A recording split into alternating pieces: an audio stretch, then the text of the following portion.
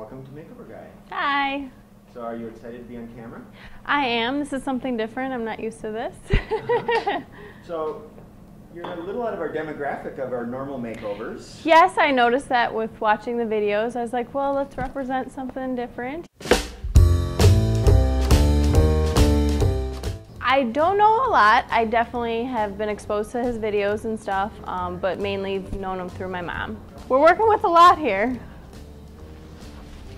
So there's a lot to, to do, hopefully. I've always been interested in like strawberry blonde hair. Um, you know, so when you said fire engine red, it's not super off from what I was thinking.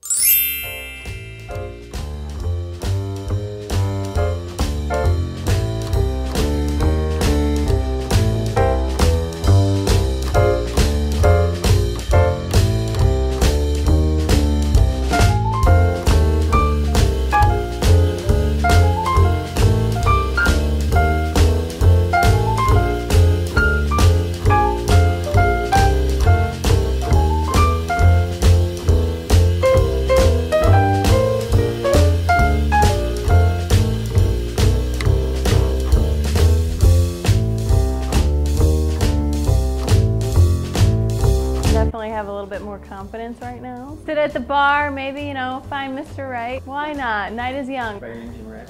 Of course, I'm ready. Who knows? Purple, green, let's go.